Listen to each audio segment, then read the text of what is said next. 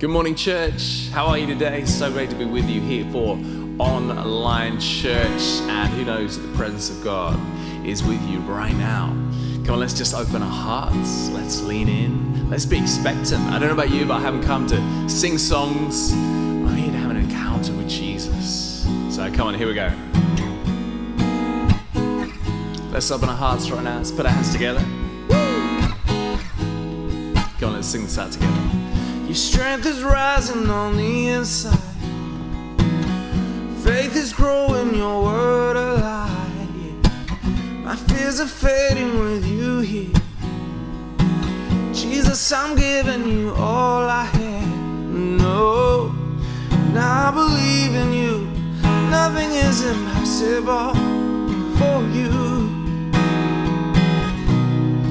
You have made a way. Nothing is impossible for you. Oh, oh, oh.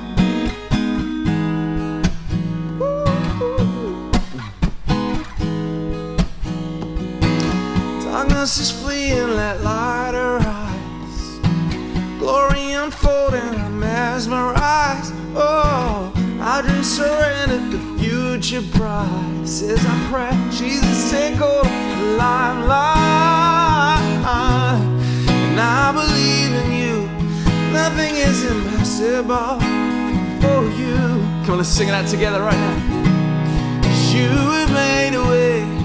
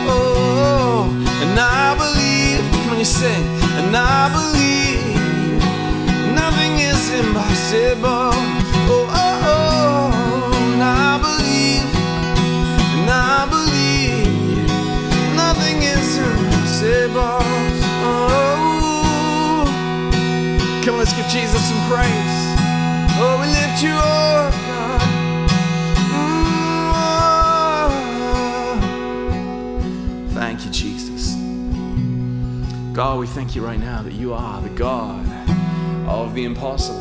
Nothing is too difficult for you, God. There's nothing we're facing right now, God, that can topple you. God, you are greater. So you are higher. So you are bigger. God, nothing can stop you, Lord. Thank you, Jesus. Thank you, Lord. Thank you, Jesus.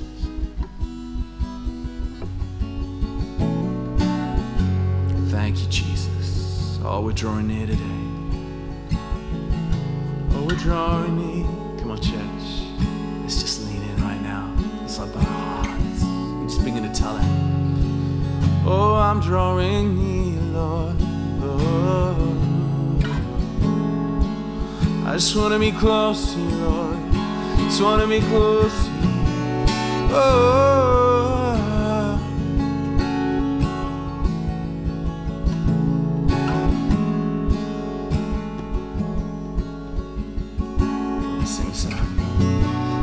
still impatient. He is more than he. So wait and wonder. He makes all things new. But Jesus is down no one can do. So I will believe in miracles. I believe in miracles. I believe that you still heal. I'm not gonna buy fear. I believe. Well, I believe in the Son of God, blood shed for me.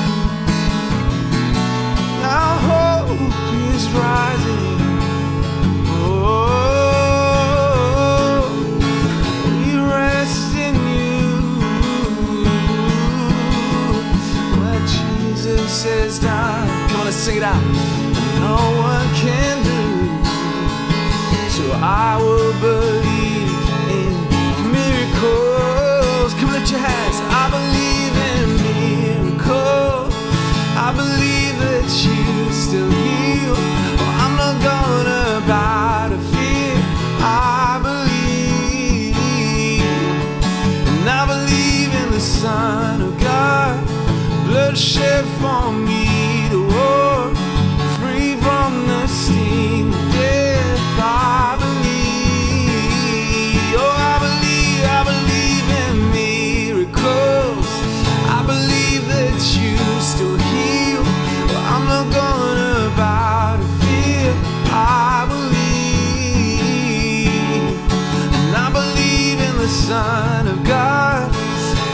ship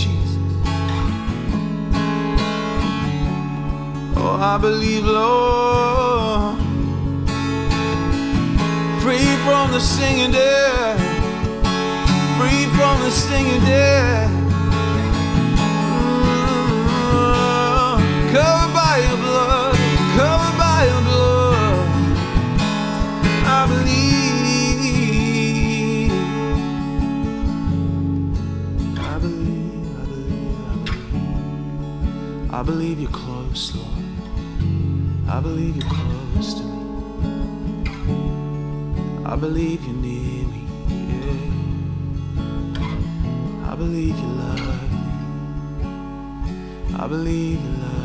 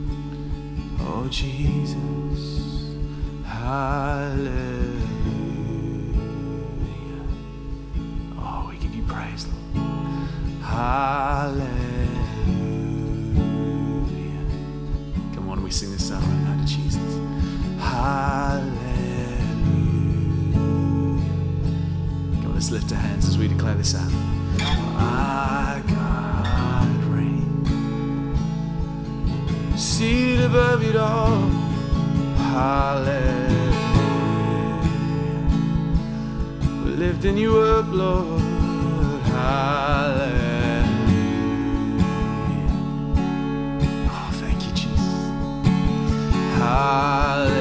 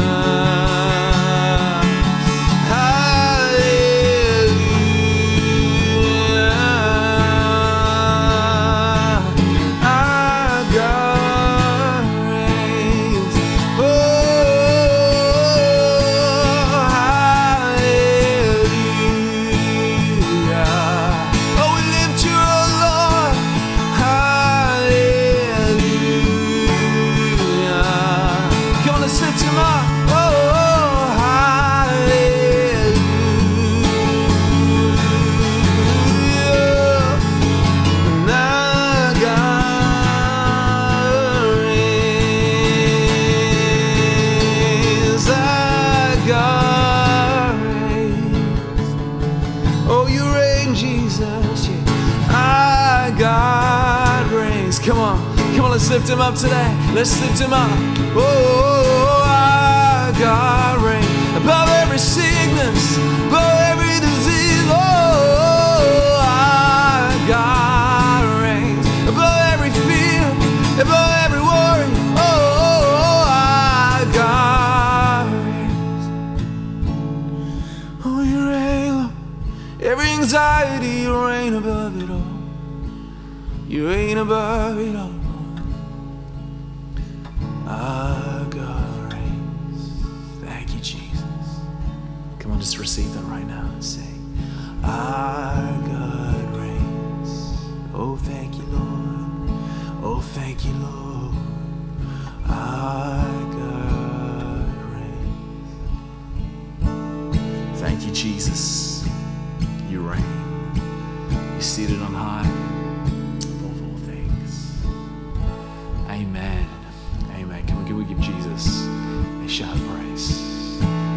lift up the name of Jesus right now? Come on, wherever you are, begin to exalt Him. Oh.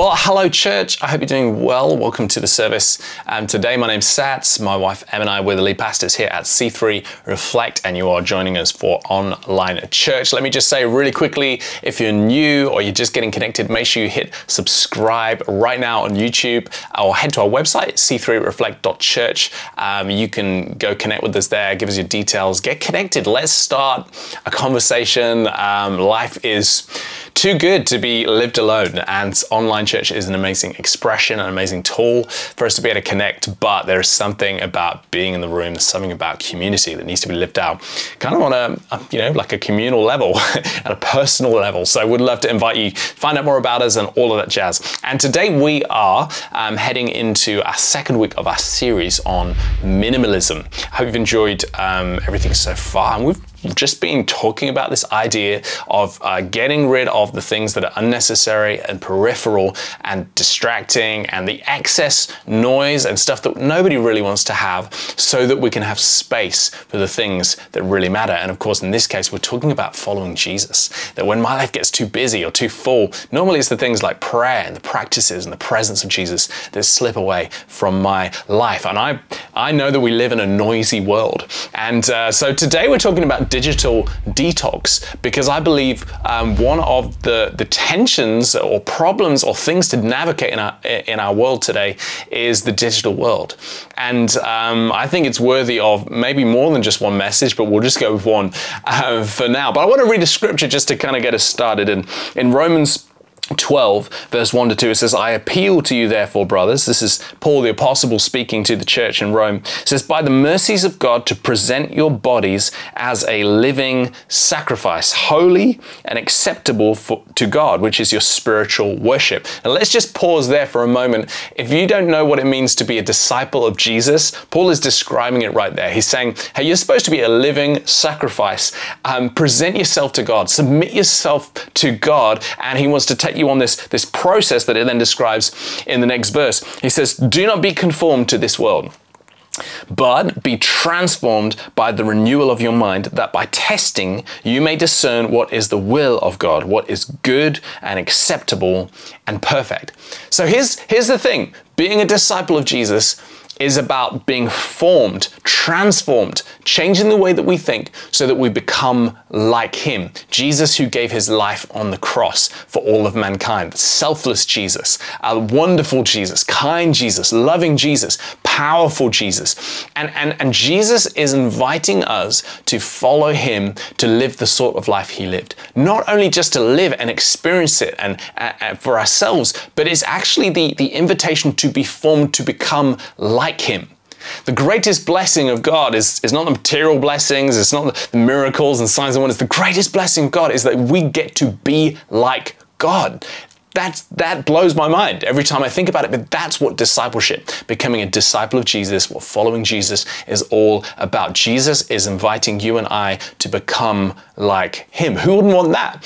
And Paul is saying, here's, here's how it works. It's all about the way that you think if you can renew your thinking, because we live in a fallen world, God created us in His image, perfect, good, and sin came into the world. Man's rebellion kind of brought the whole thing down, and now we see what is quite evidently not good as well as good in our world. And, and that's a product of sin. And so Jesus came to deal with sin, to, to, to put an end to that rule of darkness in our world, to bring in a new kingdom.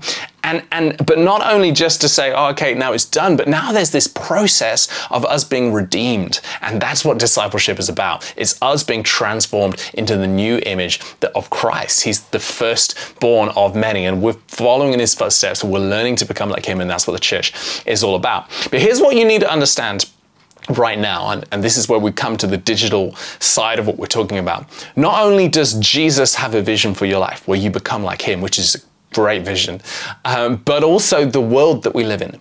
The spirit of this world uh, that is trying to occupy uh, and, and be king of this world, even though it's not, is trying to hang on to the power it once had, is putting up a bit of a fight in our world. And, and that the spirit of that world also wants you to become like it. That's why it says, don't be conformed to this world. Do not be conformed to this world, but be transformed by the renewal of your mind. In, in other words, there are these two things in opposition with each other the spirit of this world and Jesus.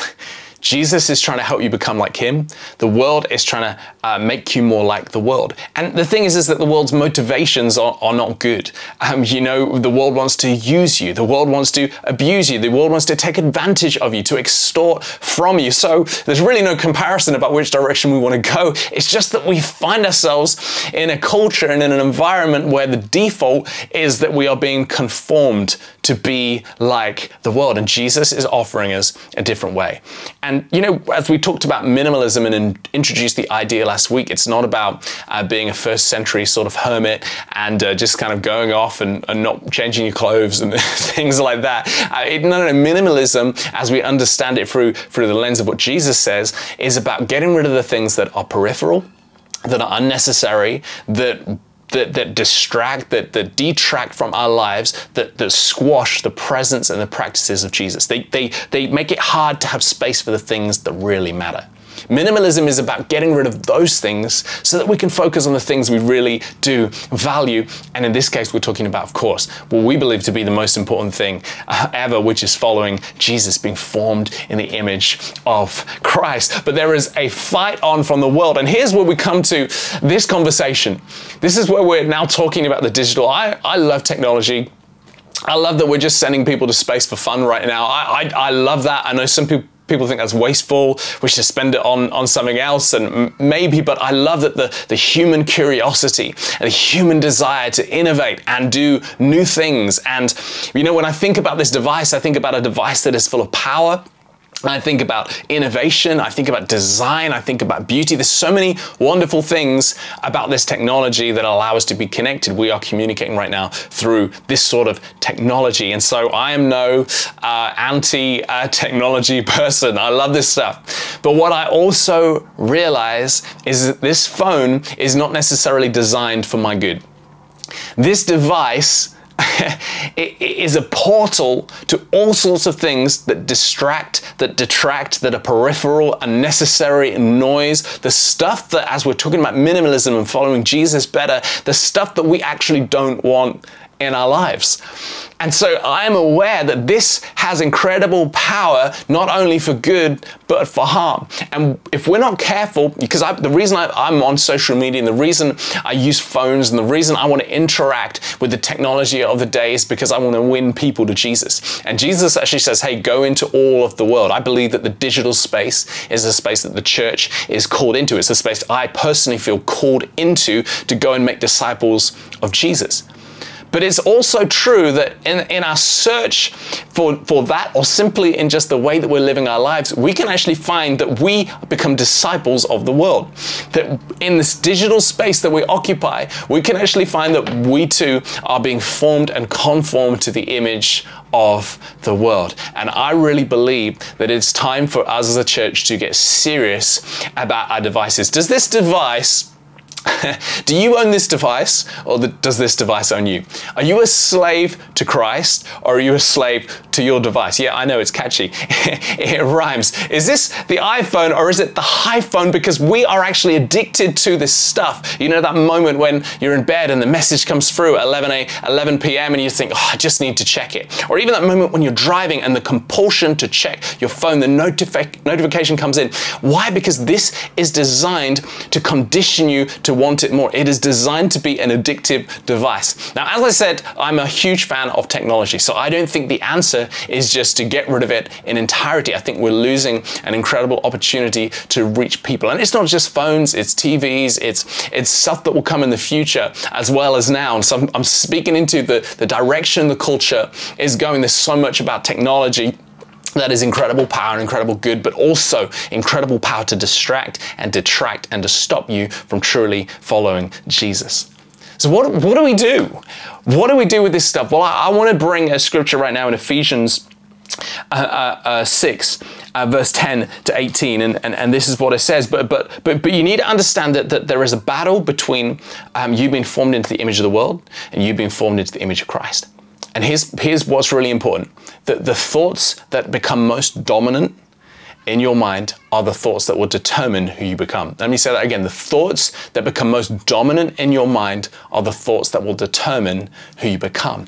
And if we create an environment where this is God, when we create an environment where we invite the voice of the world to, uh, to talk and speak and form the way that we think and the way that we approach life, don't be surprised if we find ourselves finding it really hard to follow Jesus. But if we instead make the decision to make this book, the Word of God, the Bible, the teachings of Jesus, and allow that to be the thing that forms us, don't be surprised if you begin to experience the new levels of living, experience uh, the joy and the peace and the wonder of the things that Jesus has for us. So here, this is what it says in Ephesians 6, verse 10. It says, finally, be strong in the Lord. Be strong in the Lord. Don't be strong in the stuff of this world. Don't be strong in your understanding of current issues. It says, be strong in the Lord there is a sense of deliberateness about what Paul is saying, saying, be strong, make the decision. And this is what I want us to do, church. I, I, as I said, I don't want us to go off and be hermits uh, somewhere in outer Siberia or Alaska or, or Wales. Uh, I don't know. Um, but, but, but, but I want us to be deliberate about allowing God to shape and form us. As be strong in the Lord and in the strength of His might. Well, that's good. It's not my might, it's His might. Put on the whole armor of God that you may be able to stand against the schemes of the devil. Now, let me just in, interject and maybe just tangent for a moment because the last 18 months has been a crazy time. And there is a lot of talk and a lot of stuff that is confusing that you might be hearing uh, on your local WhatsApp group. and there is a lot of talk about conspiracy. There's a lot of talk about all the crazy stuff that is going on. And, and, I just want to just bring you just maybe a perspective that I think this scripture really brings us and is helpful to us right now. Because here's the, here's the reality is I think it's very normal to have a lot of questions right now about the last 18 months. I think we should have questions. We should be asking about how certain information is being communicated. We should be asking about the, the manner in which things are uh, presented. Sometimes feels like things are manipulated or coerced or, or just, it's, a weird, it's been a weird season and I have a lot of questions. I have a lot of questions about how data is presented. I have a lot of questions about um, just a lot of stuff. And I think a lot of people have a lot of questions. And I think the problem we have is normally when people have questions, we just go, oh, they, they're just crazy conspiracy people. But, but, but I think the, the scripture actually explains something about what's actually been happening. You see, see, it says in verse 12, For we do not wrestle against flesh and blood, but against the rulers, against the authorities, against the cosmic powers over this present darkness, against the spiritual forces of evil in the heavenly places. So here's what you need to understand. That, that for me, as I read the scripture, this is affirming to me that there is no global government conspiracy. I don't think the, the governments of this world has come together to whatever that is to, to, to bring about havoc and harm um, in our world. I don't think that's what's happening. And I, I you know, that's up to you. But I don't think that's what's happening. What I do think is happening, though, is that we're not wrestling against the flesh and blood, the government. What we are wrestling against is the rulers, the authorities, the cosmic powers over this present darkness against the spiritual forces of evil in the heavenly places. Make no mistake, there are demonic powers at work in our world that are the spirit of this world that are on a mission to destroy humanity. They are on a mission to bring fear. And so, what we need to do as Christians is we need to make sure we we don't get caught up in, I don't know, just a little bit of extremism, a little bit of exciting conspiracy theory. We need to make sure we, we are wise and we are clever and just a little bit thoughtful and reflective about how we approach these things. But we also need to understand that there are spiritual forces at work and we need to hold both of those things in tension together. It's okay to have questions. It's okay um, to, to, to question what's happening around the last 18 months. It's okay to be annoyed as well. I think we should be annoyed to some extent about certain decisions that have been made and all of that jazz. But the purpose of this message is not to go into that. What I want you to, to understand today that there are demonic powers at work. And these are the powers that are trying to conform us to the spirit of this world. And what, what does Paul say? He says, therefore, He's not just saying, oh no, gosh, the, the, all these spiritual powers going on. What we're going to do?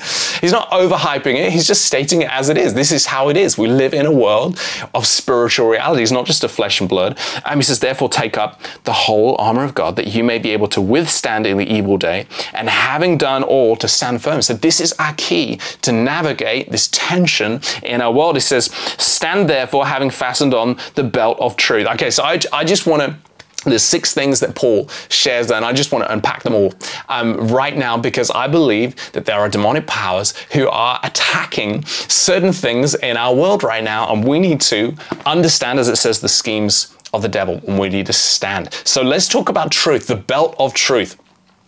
Does this device determine what is true, or does this word determine what is true? Because here's something you really need to catch that just because something is said a lot of times, does not make it true. Just because you hear something again and again and again and again, and that's the strategy of this world. It communicates things again and it changes language, it blurs boundaries, it messes with stuff and truth and questions and makes it all murky and weird, but we need to stand on truth. We need to have the belt of truth. And we need to refuse to, to change what we believe about the truth. The Word of God, what God says, is what goes. And we need to make sure that we stand on truth. The spirit of deception is, is huge in our world and it's attached to agenda, it's attached to stuff, and we need to have truth in our life. Jesus says that the truth will set us free. And when we've got our truth anchored in the wrong things, when we believe everything we read, on social media, when we are prepared to change our theology at the drop of a hat because it's now socially acceptable, we have to remember history. We have to remember that, that in certain points of history, everybody went along with the mainstream and it was a very bad idea. We have to stand on the truth of God's word. God's word goes. And one of the biggest lies right now is that truth is flexible. And so people will say to that, hey, well, your truth as a Christian, that's, that's for you, but it might not be for everyone else. I mean, this is the most ludicrous attack on truth by saying there is no truth. But of course, everybody's got their truth and they interpret the, the way they see it. But we need to understand that there is the truth. There is a universal, total truth that has the power to set people free. And we need to understand that this is actually good news because people are sick of the lies. People are sick of having nothing solid to build their lives upon. And Jesus Christ brings truth that we can anchor ourselves and anchor our future. Says, having fastened on the belt of truth, having put on the breastplate of righteousness. Um, gosh, righteousness is under attack in our world. And we need to choose to align ourselves to what God says about what is right, what is good. And we need to protect our minds and we need to you know, when it comes to what we allow into our minds, there are certain things on TV and series that are wonderfully creative and fantastic storytelling, but we shouldn't be watching. We shouldn't be letting those things input that, that, that, that, that draw us towards lust, that draw us towards greed. We, we should limit what we allow to get in, that we're not following people on social media who, who make us want to live a millionaire lifestyle, who, who make us desire things that, and, and, and feel discontent with our lives. We need to create boundaries so that our, our pursuit, our, we would hunger and thirst for the righteousness of God, not for the stuff of this world. You've got to change the inputs that are coming into your world. Otherwise, you're going to pollute the holiness that God has called you to be holy. And we, the church, are called to be holy. We need to be separate from this world. And so when people say, Have you watched Game of Thrones? I haven't watched it because I know enough about Game of Thrones to know that it is going to pollute my soul. And I want to say, Christians, we need to get a bit more, we need to get a little bit more back backbone and we need to be okay about upsetting people. We need to be okay to be a little bit awkward at times, say, I don't want to watch that. I don't want to go there. I don't want to do that because I care more about being formed into the image of Christ than I do about being loved and liked by everyone around me. And that is a difficult thing for us as young people today. But you have to decide if you what you want most, if you want to please Jesus or if you want to please um, the world. Uh, the third um, thing is this um, as shoes for your feet, having put on the readiness given by the gospel of peace. Okay, I love this. I love this thought. It says, uh, shoes for your feet, having put on the readiness given by the gospel of peace. So here's, here's what you need to understand. When you have peace in your life, and we're going to talk about how, how we do that, when you have peace, you have readiness to share the gospel. In other words, when you're not overly concerned with your own self, when, when you're at a level where you're okay, and um, you're going to find that you're going to have space in your life to witness. You're going to have space in your life to pray. You're going to have space in your life to encourage. You're going to have space in your life to be an influence in our world. And we need you to be an influence. We need the church and the Christians of this world to be an influence in our world. But when we don't have peace, all of our energy goes into finding peace. And here's, here's, here's what you need to understand about peace and anxiety is that peace is described in Galatians 5 as being a fruit of the Holy Spirit. In other words, it's, it's something that is a product of something else. And, and I've got to say that the same is true about anxiety, that anxiety is a fruit of stuff happening in your world. So peace and anxiety are fruit. And here's, here's where we get caught up with this, is that we know we need peace in our life because nobody can live without peace. And so we are searching for peace. We are looking to find it. We're looking everywhere. We're looking in people. We're looking in our devices. We're looking in situations. We're looking in comfort. And we can't find it anywhere. We find it for a moment, but it's fleeting. But it's because we don't understand that peace is a fruit. It's a fruit of the Holy Spirit. It's something that is produced in our life. And anxiety is a fruit. We don't often talk about anxiety like this, but, but let me just speak compassionately to you right now. If this is you and you are anxious and you have an, an anxiety problem, that you feel anxious and it, often and it takes over. You panic, you, you freak out. This has a grip on your life. You feel anxious about the future, you feel anxious about social situations, you feel anxious about your job, you feel anxious about the relationship you're in. The, the, the anxiety is there. Here's what you need to understand is that you, you need to begin to change the inputs that are coming into your mind. You need to begin to allow your mind to be renewed because anxiety is a fruit. And, and sometimes we want to come to an altar call, or we want to come to a moment, and sometimes we do. We do pray for, for healing, we pray for peace. But peace is a fruit. And, and, and sometimes I feel like Jesus isn't going to heal your anxiety. He's not going to do it because he actually needs you to put in some disciplines and, and put in some structure and some rhythm into your life so that you begin to bear the fruit of peace. what does that look like? It, it's like turning your phone off when you sleep. it's about turning your phone off. It's about having a detox. Once a week, turn your phone off for 24 hours and just come away. It's about practicing the Sabbath. It's about, of course, the Word of God and community and dinner parties. Don't be surprised if isolation creates anxiety because anxiety is a product of isolation. It's a fruit of isolation. And so, come on, church, we need to get wise. We need to understand that some of the things we are experiencing in our lives are fruit, products of the decisions we're making. And I don't say that to condemn you. I don't say that to make you feel bad, but I say that to bring truth into your life, to bring freedom, that you could be set free, that you could live a life that is full of peace. It is here, right here for you in Jesus Christ today.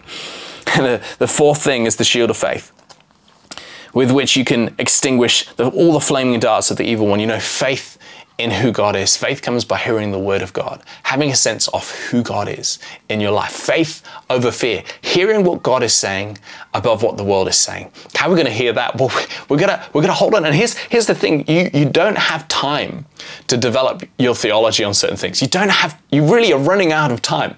You need to get on this faith thing now because there are darts coming your way. Present tense. We need to hold up the shield to protect us from the attack of the enemy. We're going to find that our thinking is going to be under attack. We're going to find that our morality is going to be under attack. Our courage is going to be under attack. Get the word of God into you and let faith rise. Hold up that shield of faith is going to protect you in your future. Uh, the, the, the fifth thing, I think it's the fifth thing. Uh, yeah, it's the fifth thing is the helmet of salvation. You know, I, I, love that salvation is, is not just about kind of that one time moment that we receive Jesus into our heart, but it's about the deliverance of God. It's about the provision of God. It's about building your life in a way that you know that God has your back. No matter what happens, you are completely submitted and surrendered to Him, and you know that He has you. And the enemy is trying to erode that helmet. The reason it's around your head is because it's the most important thing. because, because you need to know that God is for you. Can I speak that over you today? He is your Savior. He is for you. He will fight for you. You can call on Him. Jesus says you don't have because you don't ask. You can call on Him. He is your help in time of need. Where does your help come from? Does it come from the mountains? No, it comes from the Lord. He is your salvation. And finally, the sixth thing is this the sword of the Spirit, which is the word of God. And here's what I love about this, because normally we stop there, but it actually goes on, different verse, but same sentence. It says, which is the word of God, praying at all times in the Spirit with all prayer and supplication. To that end, keep alert with all perseverance. So here's what I love, guys, is that the sword of the Spirit is the Word of God. But the Word of God is not something that is passive. It says that we are to pray at all times with the sword of the Spirit. We're supposed to pray the Word of God. The, the, Word of God needs to be activated in your life. It's the only weapon that is described here. Everything else is defense. The shield is defense. The breastplate is defense. It's all defense. It's all, it's, it's all, uh, but, but the sword of the Spirit is the one thing that God gives us to take, take back, to fight in, in that, that space of prayer. And church, I want us to be a church of prayer. I want us to be a people who know the Word of God. Think, what do I pray? It's awkward. It's, it's hard. You just need to read this book.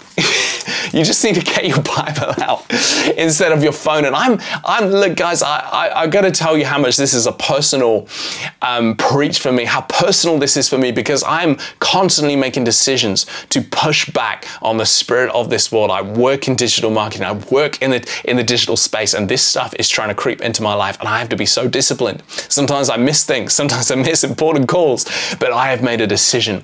I don't want to be discipled by this world. I want to be a disciple of Jesus Christ. Can I just pray for us as we close? Because I think some of us, will have been challenged by today's message.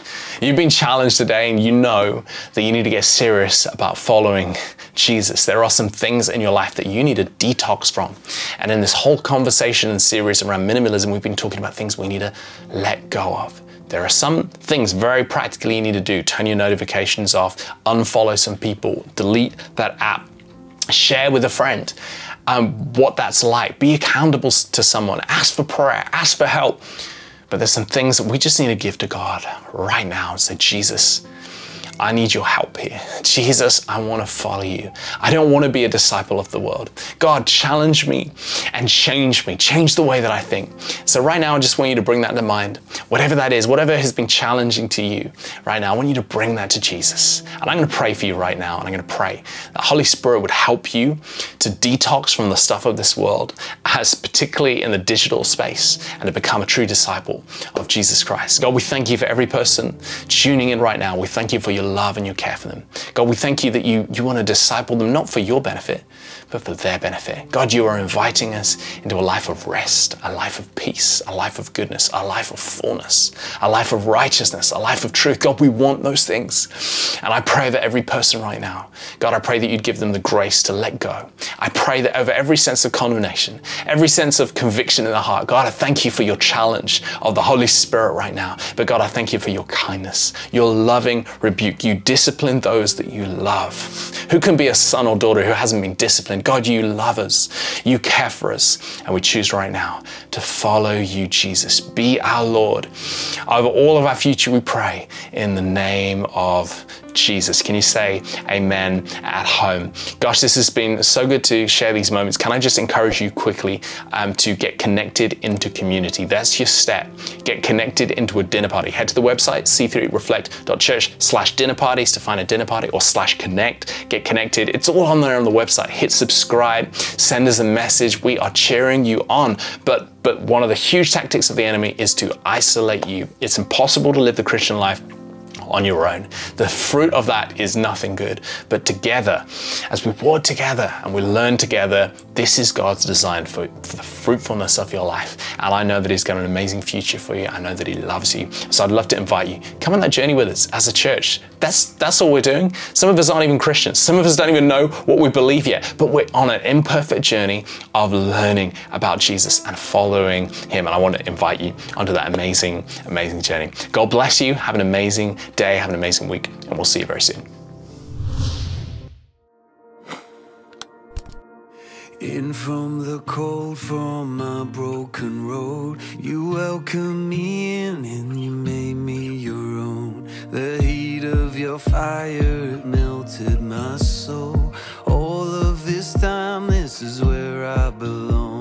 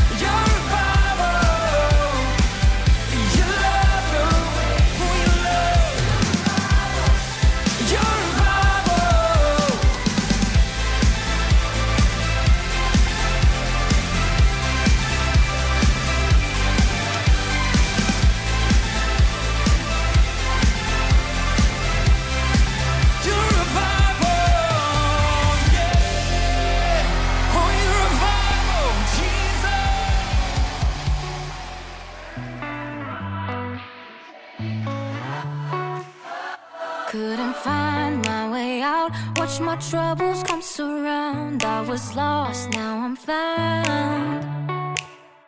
Like a glimmer of hope That will never let me go. You bring peace to my soul.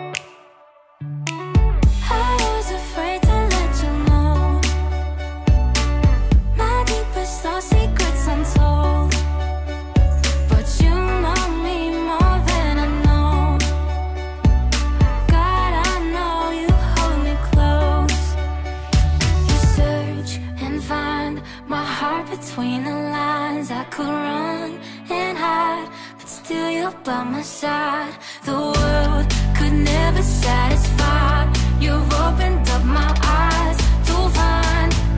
You give me technical alive